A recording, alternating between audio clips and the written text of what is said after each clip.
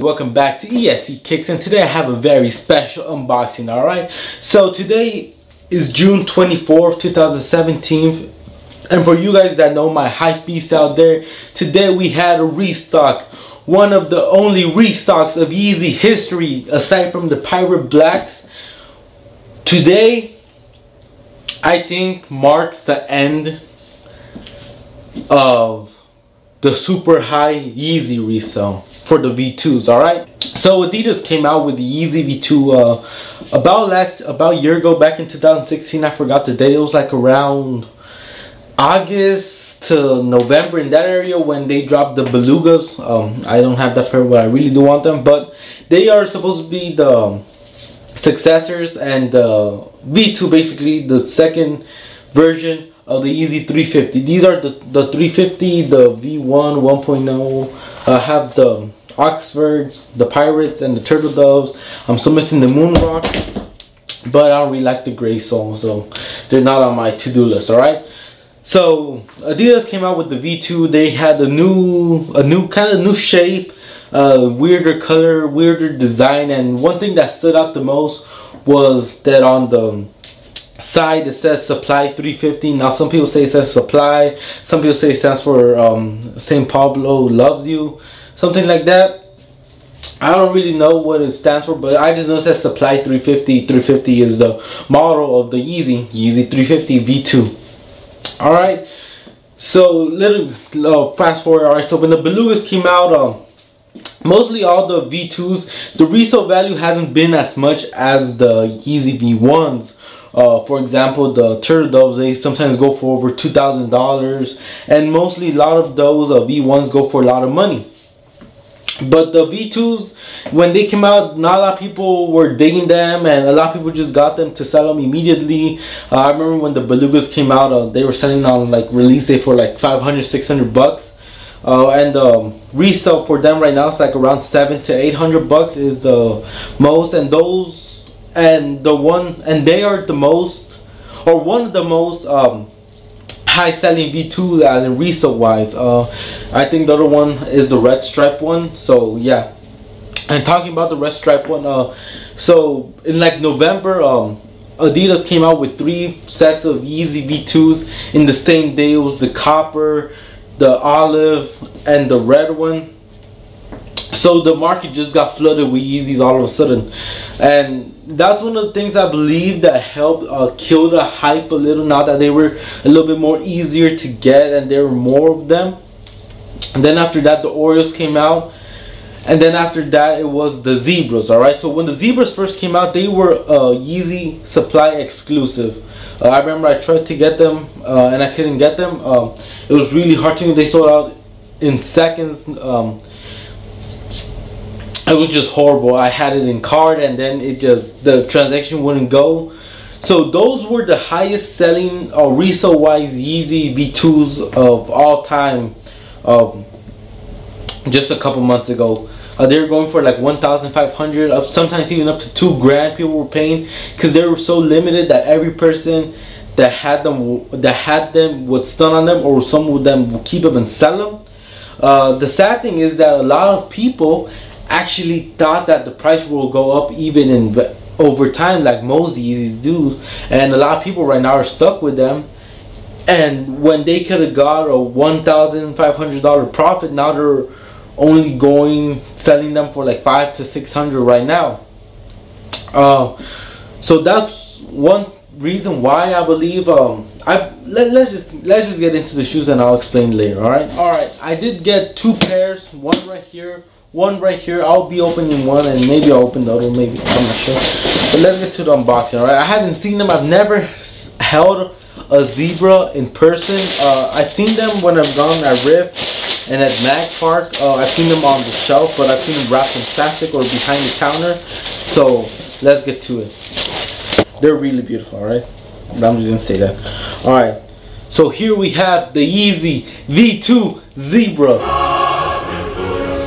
Let me put up the tongue. It looks it looks weird like this. V2 Zebra. All right. Here they are. All right. Tags, brand new DS 10 and a half my size. So let's get to the shoe, alright? So it's the typical Yeezy V2 silhouette like I was saying. Uh, let, us see against the V1. I'll get the Oxford Tans for this. So the Yeezy V2 is a little bit bigger. As you guys can see, it looks a little bit bigger, even though it fits if it's tighter, if it's smaller. Uh, you guys can see that it somewhat resembles it. This is the V1, V2. See, it kind of resembles it, but it's like a, a remix of it, alright? So that's the silhouette. It's a classic v, V2 silhouette. Uh, this is the Supply 350 line I was talking about earlier. So let's get into the colorway. All right, the colorway is really crazy. All right, um, it has like the base of the cream white, kind of like you could see. It kind of looks like it, but then it has also a black prime knit, um, which resembles the zebra, the animal zebra. All right. Um, one thing I really like about the shoe is the red ink that they chose. I mean, they could have gone probably with like a black ink, but the red one just makes it look so much nicer, makes it pop out, makes it stand out. Uh, that's one thing I really like. Uh, one thing I don't like about the shoe is actually the sole. Uh, I'm not a fan of this sole. It actually gets dirty really fast compared to other ones. So that's one thing I don't really like about it, but it looks really dope. Also, one thing about the sole I don't like is that here where they like there's the union of it is like yellowish and I just don't like it. Kind of looks like it were old. So that's one thing I don't really like about the sole not the shoe. Uh, one thing I do like about the shoe um I don't know if you guys can see it but like the lace and like all around the shoe is not like a a white white. It's like an off white creamish type of color. As you guys can see where it says supply 350 there's like a white line here and you could easily you could see the difference between this white line and this one. And this is the one that they use all around the shoe. So this is really cool that it's like an off-white. Um, one of my favorite colors actually like an off-white cream. That's my one of my favorite colors. So for me this is really dope. Um so yeah this is the shoe.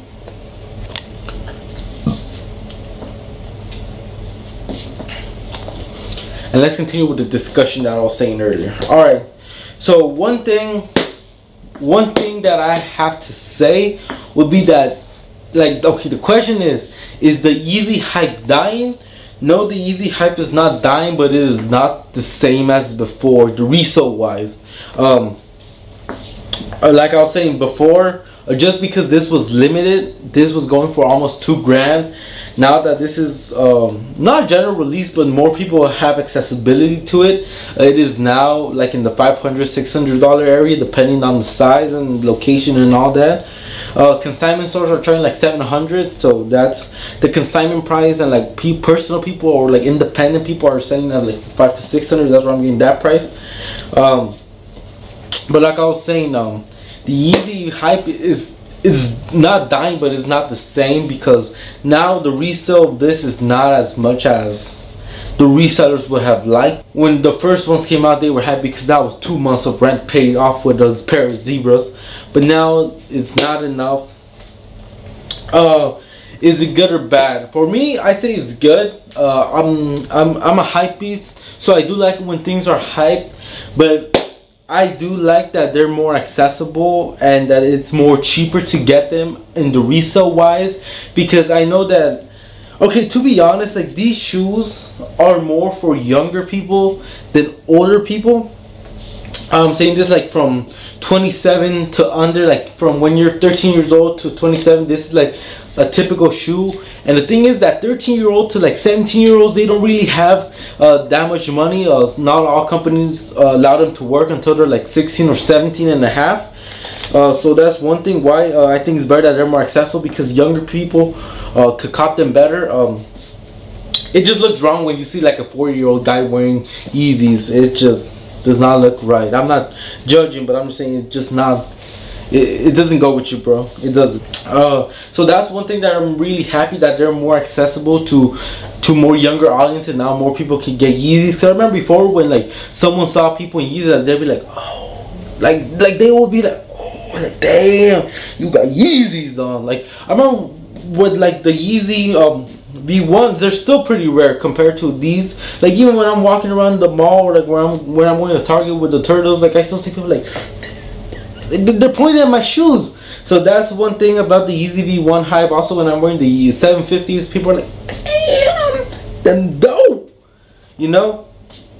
But not that much with the V2s. Uh, you could see people around uh, wearing the V2 and they're like, oh, okay. V2s, they're not that hard to get. So, yes, the hype is dying down a little because now more people have Yeezys than before. I remember when even Kanye was just with Nike. I remember if you even owned a pair of Yeezys, you were you you you had it done in life already. But now Yeezys, it's almost. I'm not saying it's as fast to collect as a Jordan, but it's not that hard to start a Yeezy collection anymore.